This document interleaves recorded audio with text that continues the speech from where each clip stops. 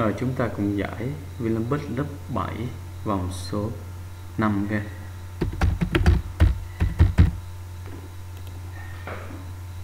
em chuẩn bị máy tính ha. Nháp nữa chọn hai ô bằng nhau. Người ta quan sát luôn. Căn 16 phần 81 là sẽ bằng 4 phần 7 đúng không?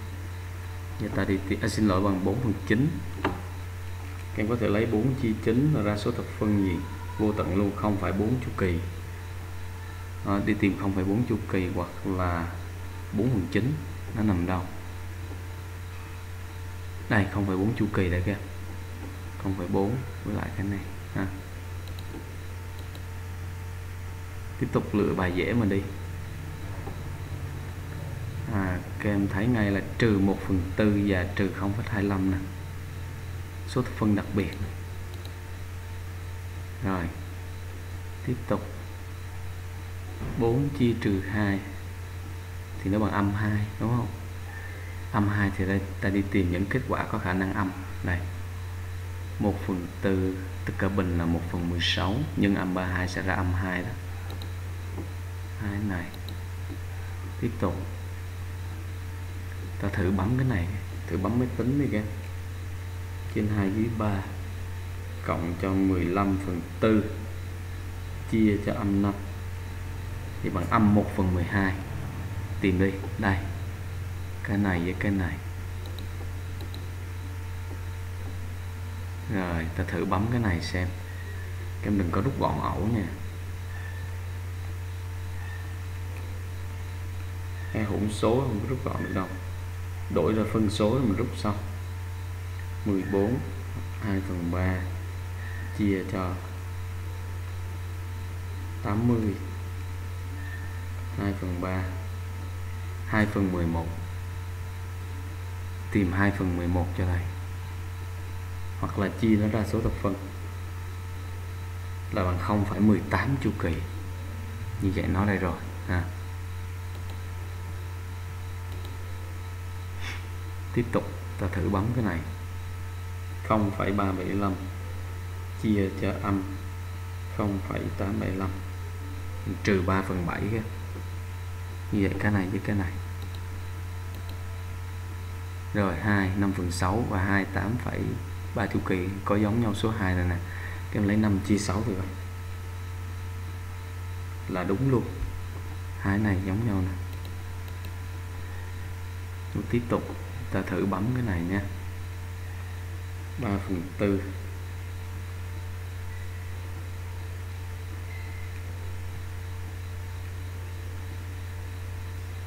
3 phần 2 á. 3 phần 2 tức là 1,5 rồi. Giờ cái này chữ số tận cùng thì phải là số tự nhiên. Vậy không thể là cái này rồi. Vậy cái này nó sẽ đi với cái này hoặc cái này đi với cái này thôi. Rồi thì cho cái này đi với cái này.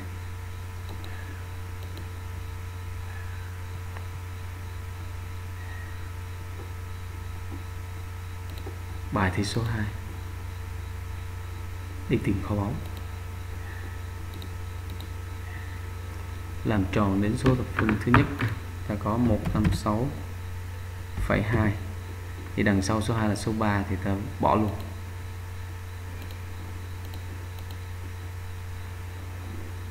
Phân số mà viết được dưới dạng thập phân hữu hạn thì mẫu nó không được có ước nguyên tố khác 2 và 5 à, và đây là có ước là 3 này có ước 3 ước 7 và đây là 1 phần 4 trong các phân số phân số viết được dưới dạng số phân hoặc là 1 phần 4 à. câu hỏi khá dễ.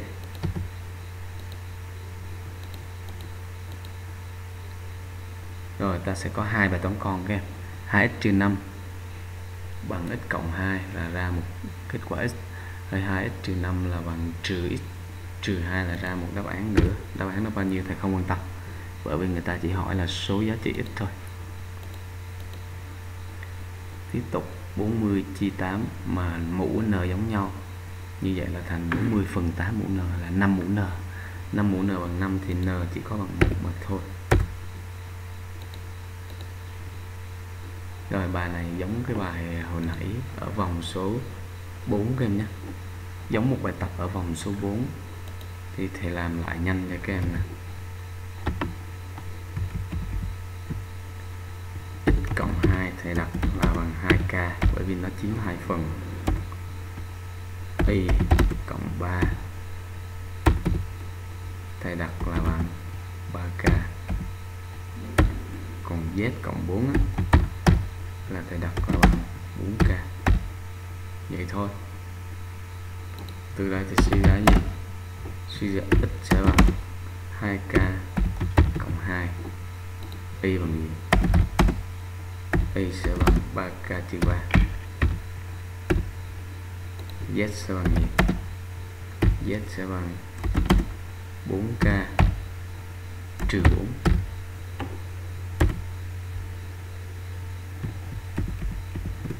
rồi giờ em lấy công thức này em đi thôi. 2x 2x tức là 2 lần 2k cộng 2 nè. Rồi cộng cho y và cộng cho z. Cộng y là cộng này, đúng không? Cộng cho z tức là cộng này. Và nó bằng 11 và từ đây mình suy ra k thôi. Nhân giải máy tính tiền k thôi.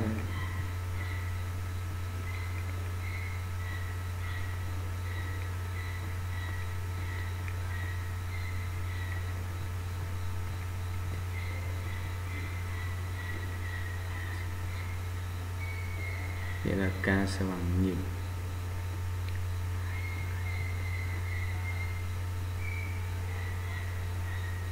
Ồ oh, xin lỗi các em nha chỗ này là phép trừ này trừ nhé. Đây phải là trừ ha. Và đây cũng là trừ và đây là trừ. Đây phải là trừ nha. Mới đúng. Thì kết quả nó ra không đẹp.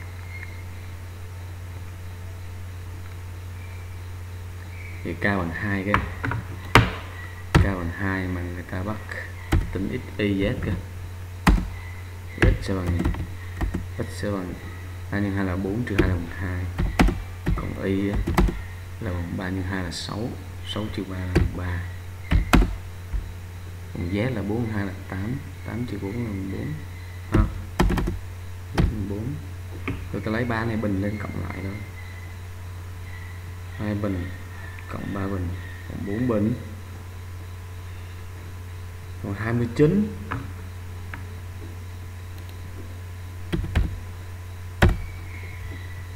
rồi, vậy ta đã hoàn thành xong. Còn thi à, tìm kho báu. Tức là thi số 3 định núi trí tuệ.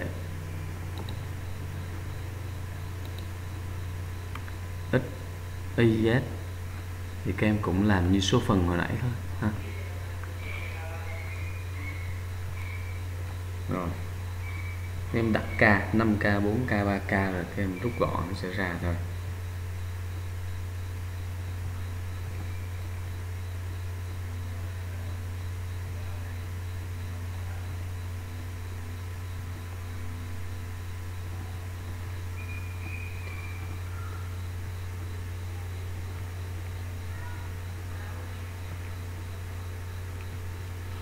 Bằng một kìa.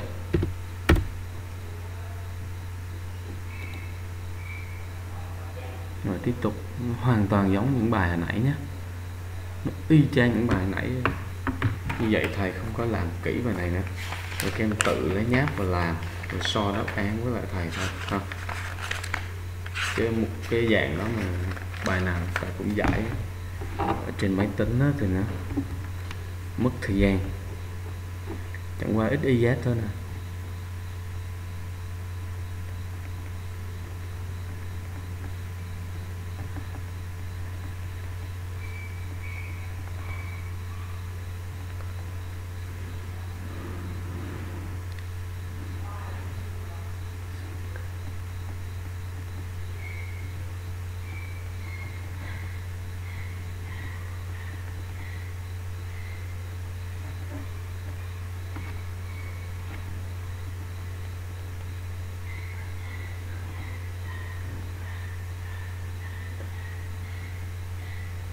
Như vậy nếu các em giải ra đúng thì x1 á nó sẽ bằng 13 x2 là bằng 10 và x3 nó sẽ bằng bằng 7 như vậy chỗ này nó sẽ là bằng 13 nhân 10 trừ cho 10 nhân cho 7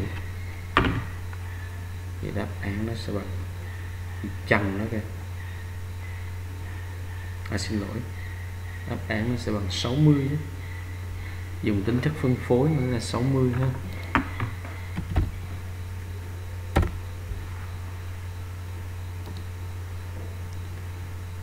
Cũng là loại bài đó các em ạ. Không khác gì cả, ha. 19 phần, A là 19 phần, nhân đôi là 38 phần. Trừ B là 21 phần, là bằng 34 38 trừ 21 là còn 17 phần bằng 34 vậy mỗi phần sẽ bằng 2 mỗi phần sẽ bằng 2 trong đó A 19 phần, B 21 phần, vậy A cộng B sẽ bằng 40 phần. Mỗi phần bằng 2 như vậy là bằng 80 thôi. Tiếp tục. Bài này cũng vậy. A là 5 phần. Như vậy 2 nhân A bình sẽ là 2 nhân 5K trong mặt bình. Trừ B là 6 phần. Như vậy là trừ 6K trong mặt bình là bằng 56 2 nhân mở ngoặc 5K đóng ngoặc bình là bằng 50K bình. Trừ 36K bình bằng 56 như vậy từ đây các em sẽ tính được là 14K bình bằng 56 vậy K bình sẽ bằng 4 như vậy K có thể là bằng cộng trừ 2 nhưng mà AB là số dương, vậy ta sẽ chọn K bằng 2 ha. K bằng 2 thì tức là một phần bằng 2 đó. Trong đó A cộng B là 11 phần. 11 phần nhân đôi thì bằng 22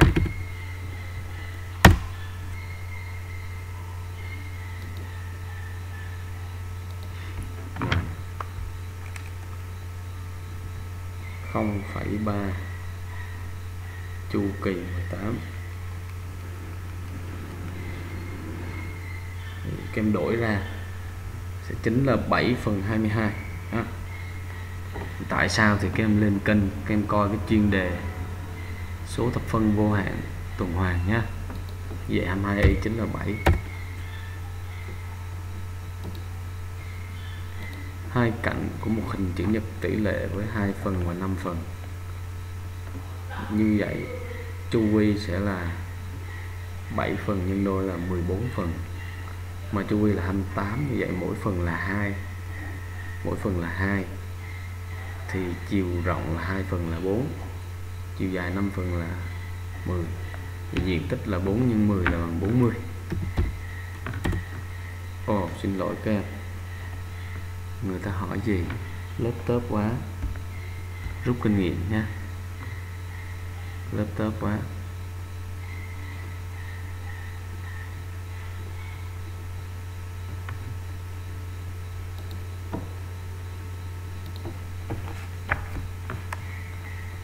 Một. 1 phần 6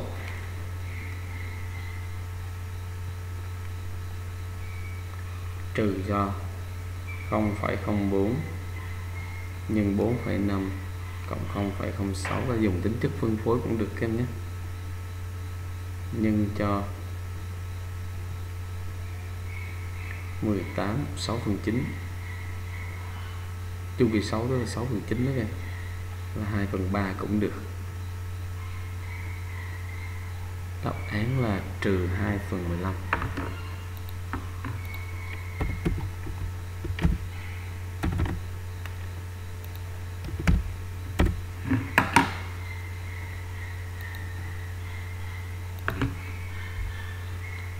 0,1 chu kỳ 23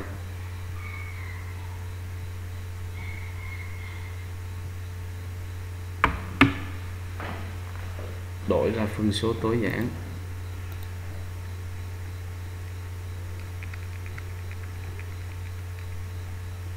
Sáu mốt phần bốn chín năm. Tại sao thầy lại đổi nhanh như vậy? Các em lên kênh của thầy xem chuyên đề số thập phân vô hạn tuần hoàn ha.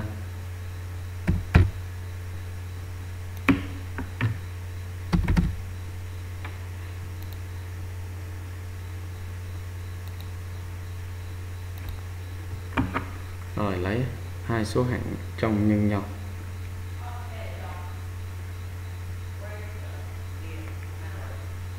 Chia cho số hạng ngoài. Như vậy là 1 phần 3x sẽ bằng 35 phần 12 rồi lấy kết quả này chia cho 1 phần 3 là ra x 35 phần 4 nha.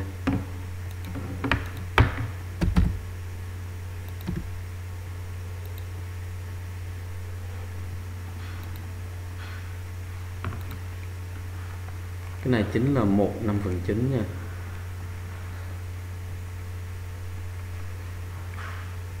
Mười bốn phần chín.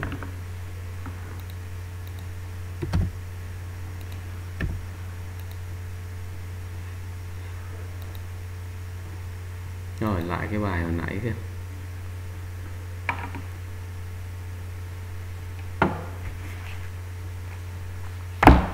bài này mình làm ở đâu rồi nhỉ? Ở đây luôn nè. Đúng không? Đúng không? 2 nhân 3 nhân 4 là bằng 6 24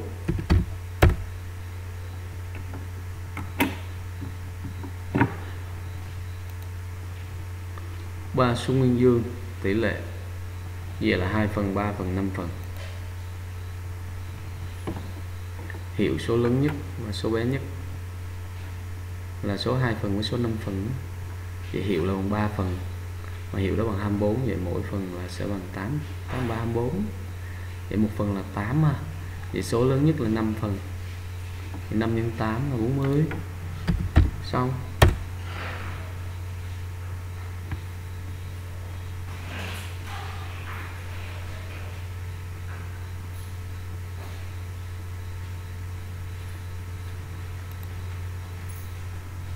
Và chúng ta đã hoàn thành xong bài thi với số điểm tối đa.